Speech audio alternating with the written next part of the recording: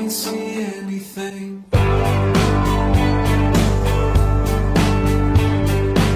Oi, pessoal! Tudo bom com vocês?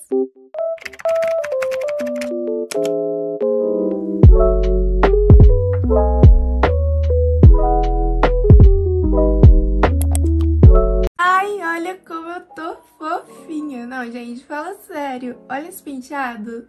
Já comenta aí que se você quiser, eu vou colocar esse penteado incluso no próximo vídeo de penteados aqui do canal que vocês amaram que eu postei. Inclusive, se você não assistiu, vai lá assistir, tá? E sério, ficou muito fofo. Eu acabei de postar no Instagram que é o... Eu já posso falar que é mais um de camponesa, né? Que eu amo ficar falando é, de que eu tô parecendo uma camponesinha. Então, olha isso. A cara de uma camponesa. Foco no vídeo, pelo amor de Deus. Mais um Vocês Mandam, eu faço. E aqui estou eu. Ai, gente, esse vídeo tem que ficar bom, porque não é possível, cara. O primeiro Vocês Mandam, eu faço. Ficou desfocado uma boa parte do vídeo e eu não percebi. Foi o segundo que aconteceu. Eu inventei de deixar no zoom, mas a gata ficou fazendo, olhando pro espelho e nem tinha um que não tava, tipo, na frente da câmera. Ou seja, vocês não viram praticamente nada. E aí eu tive que incluir um, ainda bem que eu gravei separado um olho pro TikTok, porque daí eu consegui salvar um pouco. Esse vídeo, cara, tem que sair bom, não, não é possível. Então hoje eu vim aqui, ó, escolhi já, né, obviamente. Inclusive, é, eu acho que vai combinar, eu fiz esse penteado porque meu cabelo primeiramente tava um cocô, né? Então eu coloquei pra disfarçar. E eu coloquei essa blusinha também pra combinar com a maquiagem, por quê? E o LED, porque a maquiagem é laranjinha e é a coisa mais fofa, então co coloquei esse penteado pra dar uma combinada aí. Eu vou colocar aí pra vocês essa maquiagem que foi escolhida, inclusive ela me enviou muitas vezes. Quem mandou essa maquiagem pra mim foi a Yasmin, Super beijo, Yasmin. Muito obrigada por participar do quadro e tá me enviando essa maquiagem fofa demais, muito linda. Ó, o arroba dela do Instagram é arroba com Y, né? Underline Silva com dois As. Vou deixar aqui pra vocês verem. Super beijo pra você. E agora eu vou reproduzir e que dê tudo certo. Amém, né? Antes de mais nada, né, vou prender aqui a minha franja, que ficou muito bonitinha. Gente, olha o tamanho dessa franja. Se aparecerem aí, vocês pensarem que tá machucado e tal, é porque eu tenho psoríase, tá? E tá atacado aqui, nesse ponto especificamente. E porque eu também esqueci de passar remédio, enfim. Vou deixar assim pra não atrapalhar o meu rosto. Gente, eu tô com muito calor, misericórdia. E eu fiz esse penteado aqui, que ele é baixo, né? E fica aqui. Tô com mais calor Fazer ainda. minha pele rapidinho, deixar aí bem rápido pra vocês no timelapse. E aí eu volto pra fazer. Ah, e lembrando, todos os produtos que eu vou estar usando aqui no vídeo, eu vou deixar eles linkados aqui no próprio vídeo. Sabe, não tem o card aqui? Exatamente, agora tem uma nova função aqui no YouTube, que é o ver produtos, que é a mesma coisa. Você clica aí na tela ou pausa o vídeo, que vai aparecer aqui de um dos dois lados, agora não me recordo, mas aqui, ver produtos, que é a nova função do YouTube, você clica em cima que vai aparecer todos os produtos que eu vou utilizar nesse vídeo. Talvez não apareça um ou outro, porque eu não vou estar achando んがい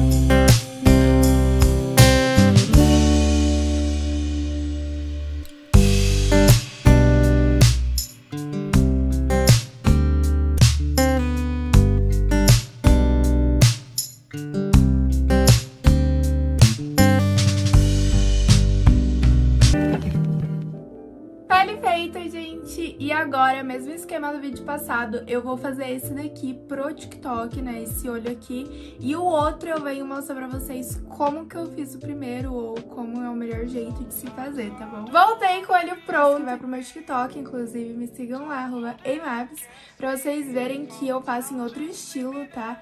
E agora eu vou ir pra esse outro olho aqui, mostrando pra vocês como que eu fiz tudo. Então, pra iniciar, usei a cor laranja de sombra pra começar esse sumadinho aí. Então, vamos lá. Essa maquiagem, ela tem esse corte aqui que poderia ser feito com fita, mas eu não vi necessidade, porque são com tons fáceis de esfumar e se manchar seria fácil de tirar. Eu iniciei, então, aplicando no meu côncavo, assim, e somando em sentidos circulares e de vai e vem, sempre concentrando aqui no côncavo mesmo.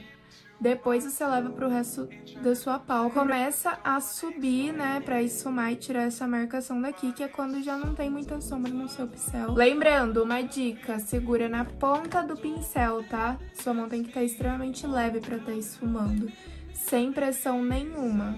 E você escolhe, você pode fazer em formatos circulares ou de vai e vem. Eu prefiro o de vai e vem, que eu acho que eu tenho uma facilidade pra esfumar assim. Lembra que aqui tem aquele corte que parece de fita? Eu não vou até o final, ó.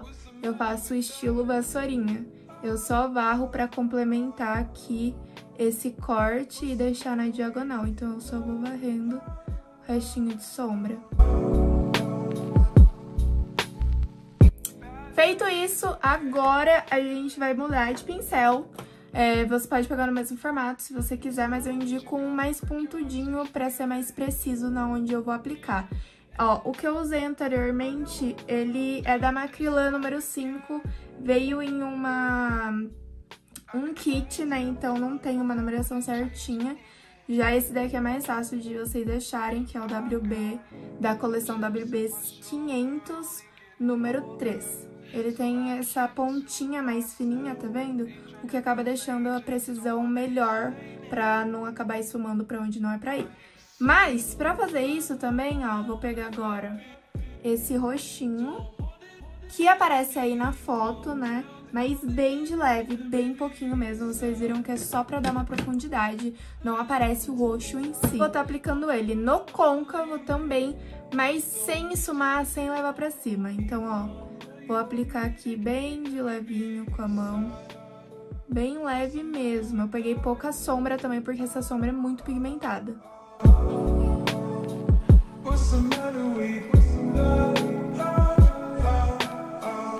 E agora, pra dar profundidade, é que a gente vai estar tá esfumando. Pra você ficar mais segura, é melhor você tirar pra ver, ó, se não tem mais sombra no pincel, pra ele não acabar é, aplicando mais em vez de estar tá esfumando o que já tem ali, sabe? Gente, mão na ponta do pincel, leve, a gente só vai dar profundidade aqui no côncavo, ó, esfumando o que já tá aí.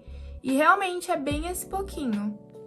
Não é que eu apliquei pouco, é porque ele quase não aparece na foto, é só uma profundidadezinha ali pra ficar atrás do cut crease. E chegou aqui no final, é só dar aquela varridinha pra fora. Vocês viram que ficou um pouquinho marcado?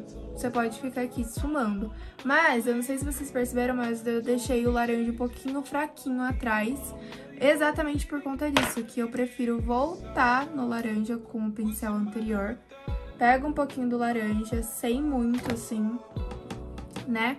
Só mesmo pra tirar essa marcação e diminuir essa intensidade do roxinho e deixar no tom que eu quero. Então, eu posso aplicar, ó, em cima dele mesmo, o laranja.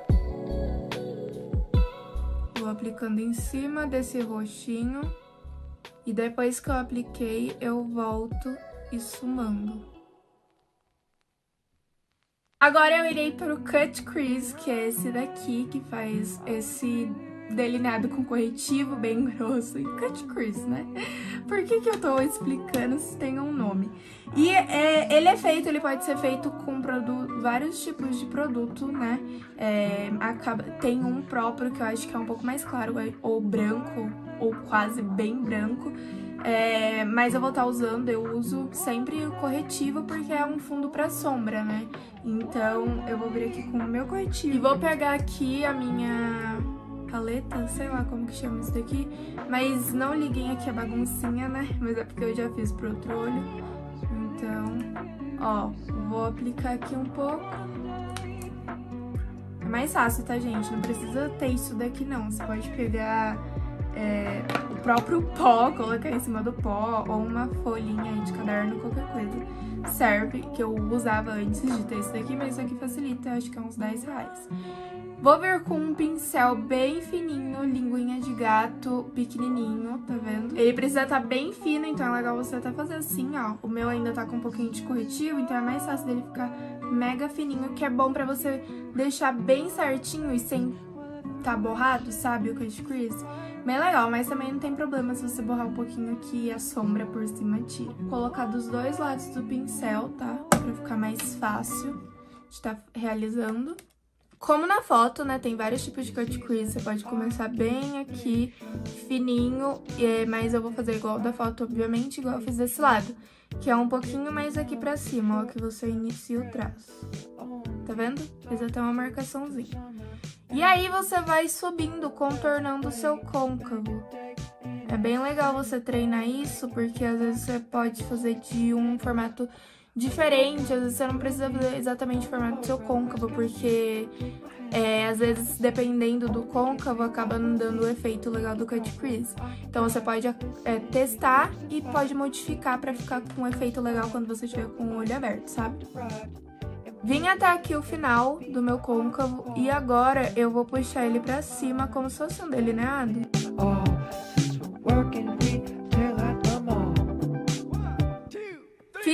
isso, ó, eu fiz olhando pra baixo e depois eu consertei, lembra que eu falei do formato do olho?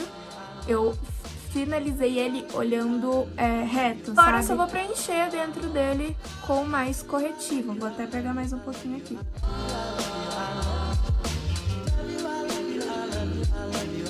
Cheguei aqui no final, mesma coisa da vassourinha, varre para fora, ó.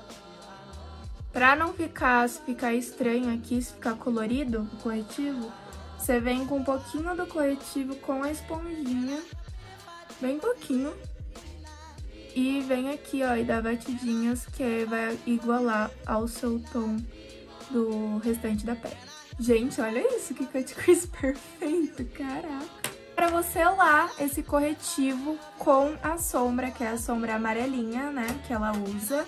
Mas é um amarelinho um pouquinho escuro. O que eu tenho aqui, que é da mesma paleta, ele é um pouquinho mais vivo. Ele não é tão vivo na hora que eu passo na pálpebra, mas mesmo assim eu vou dar uma quebradinha nele pra ele ficar um pouquinho mais escuro. E depositar, tá? A gente não vai esfumar, não. Sem segredo, eu só vou depositando aqui nessa área inteira do corretivo. Lembrando que não tem problema você ultrapassar a linha do corretivo, porque até que fica melhor até a divisão, ó. Fica ainda mais perfeito na hora que você sela. A não ser que seja um cut crease com uma sombra escura ou uma brilhante que não fique legal que ultrapassa. Aqui é diferente, eu não irei varrer pra fora, porque se eu varrer pra fora, não vai ficar o corte como se fosse fita. Eu apliquei aí, como vocês viram, dando batidinhas e só pra espalhar, né, porque tá um pouquinho acumulado, em vez de eu varrer pra fora, ó, eu vou puxar fazendo essa linha aí, ó. E esse lado tá bem mais próximo da foto, porque eu dei uma quebradinha nele usando o laranja. Mas bem pouquinho, ó, não vou pegar quase nada, ainda tirei o excesso, porque é só pra dar uma quebradinha que ele tá muito aceso, né? Pronto, já foi, bem rapidinho. E agora vamos para as florzinhas, né? Que deu um pouquinho de trabalhinho, mas agora eu já sei como fazer. Eu vou usar um delineador branco, eu vou usar esse pincel mega fino da linha WB700, número 1. Vou colocar bastante bem na pontinha, porque são pinguinhos, né? Não tem regra, mas é, eu fui intercalando aqui desse lado, não ficou muito bom, porque eu fiz com o aplicador, né? Mas vamos lá.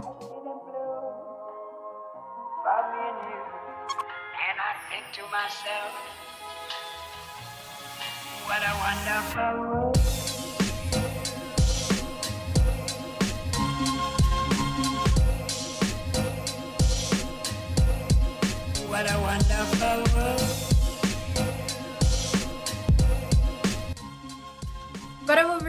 pincel bem fininho, da WB700, número 2, da Maquila, né? Da linha WB700.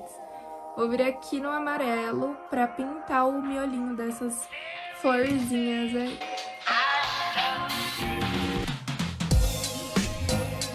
Ai, que coisa mais linda!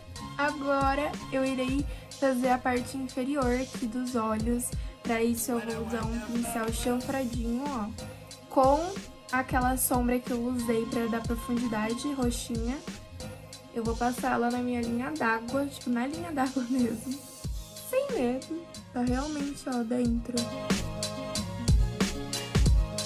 Porque a dela tá roxa, né, na foto. O pincel que eu usei pra sombra laranjinha o mesmo. Vou vir aqui de novo, com um pouquinho. E eu vou dar, vou tirar o excesso. E vou dar essa apertadinha pra ele ficar fininho. Só pra não ter que sujar outro pincel. E vou passar ele bem rente a linha d'água. Ó, apliquei. Tiro o excesso. E agora eu vou esfumar. Eu iria aplicar o Curvex, que eu gosto de aplicar. E aí eu venho com o rímel. Aplico os cílios postiços. Se vocês quiserem, eu posso trazer um vídeo de como colar cílios postiços. Só vocês comentarem aí embaixo. Vou passar um batom nudezinho. Esse aqui, infelizmente, eu não vou saber qual falar pra vocês, mas... Porque sumiu aqui já o número dele. Mas ele é da marca Queen, aquela marca bem baratinha.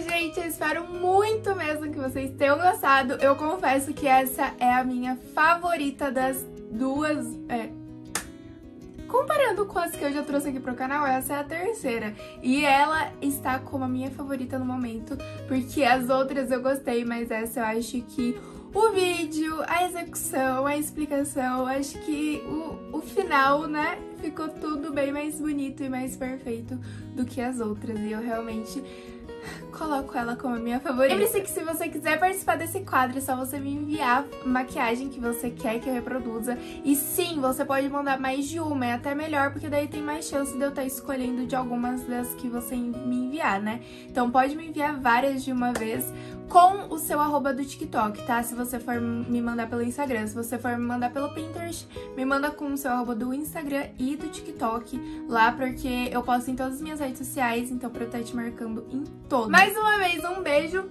pra Yasmin que me mandou essa daqui que eu... Yasmin, você acertou em cheio. Eu fiquei super apaixonada no resultado. E sério, eu tô apaixonada. E super... Olha, Amora. Gente, me siga nas minhas redes sociais, arroba Eimabs, TikTok, Instagram, Pinterest. Podem ir lá me seguir em todas elas, tá? Um super beijo e até o próximo vídeo. Tchau! A dor que eu tô de tirar agora. Olha que coisa mais linda. Thank you.